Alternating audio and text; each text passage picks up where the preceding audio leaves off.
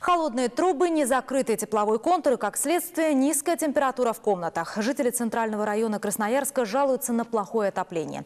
Именно этой теме сегодня была посвящена телефонная линия, которая полтора часа назад завершилась в администрации района.